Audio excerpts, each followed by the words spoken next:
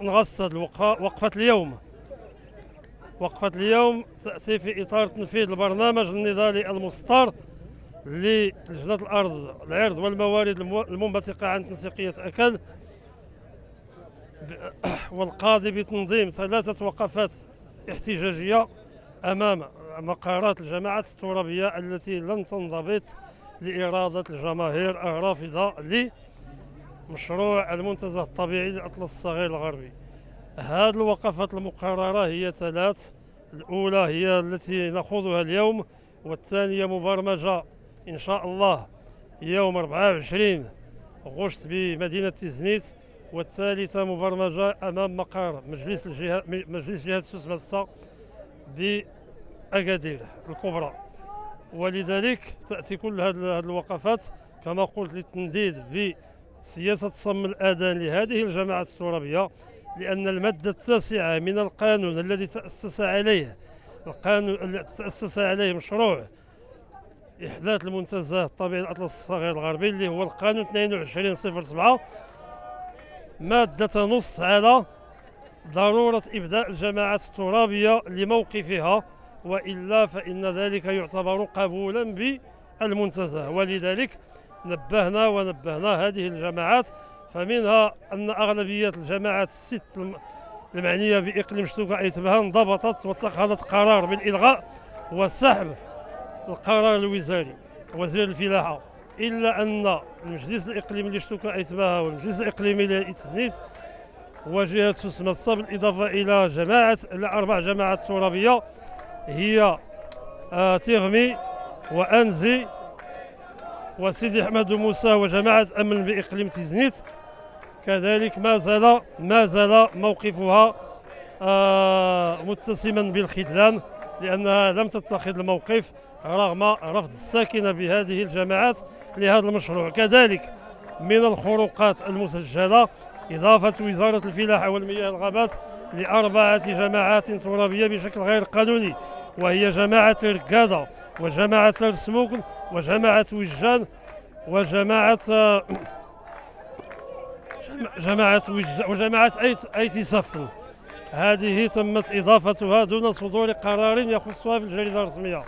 أمام هذا الوضع ما علينا إلا التعبير عن رفضنا بواسطة الاحتجاج ومطالبة هذه الهيئات وهذه الجماعات بإلغائها باتخاذ الموقف المطالب بالإلغاء.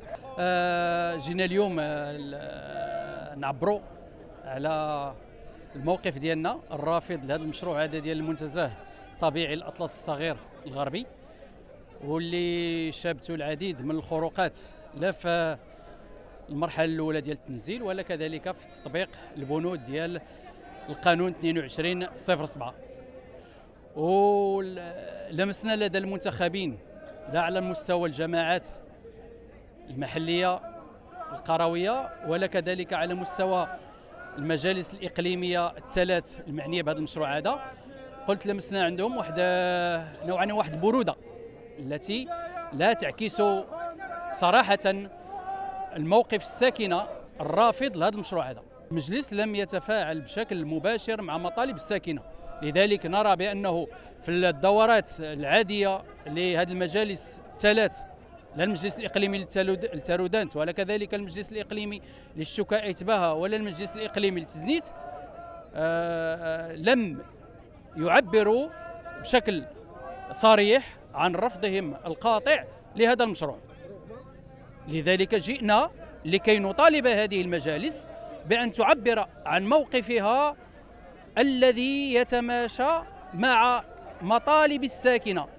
ومطالب الساكنة في هذا الإطار هي الرفض القاطع لهذا المشروع وإلغاؤه لأنه يهدد وجودها يهدد كينونتها يهدد كذلك حقوقها. جينا هنايا كنناضلوا مع خوتنا جميع السوسيين على الأراضي ديال الجدود ديالنا آه، الأراضي اللي خلاوها لجدودنا وبغاو يديوها لينا بظهائر آه، قديمة ظهائر ديال الاستعمار. وحنا ضد هذا المنتزه اللي المنتزه اللي سموه المنتزه الغربي الأطلس الصغير. بالسوس إحنا ضده والجمعيات كاملين والمجتمع المدني المدني الساكنة كاملة كترفض هذا كترفض هذا المنتزه آه، اللي بواسطته كيحدوا من الحرية ديال المواطن ديال الساكنة. وبهذه المناسبة تنحيي جميع السكان اللي حضروا هنايا باش يقولوا الرأي تاعهم في هذا في هذا في هذا المشكل هذا.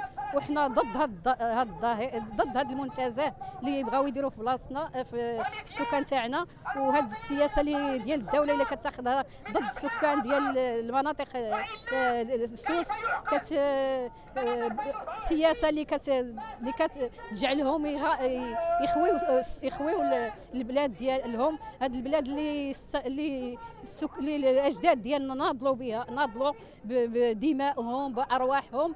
حنا حتى حنا هنا جينا نقولوا الكلمة تاعنا وكنرفضوا رفضا تاما هذا المنتزه وهذه السياسة اللي كتاخذها الحكومة ضد السكان ديال المناطق الجنوبية وضد السكان ديال السوس. كرسائل واضحة. ريشنو أن الوقفات الاحتجاجيه راه تستهبل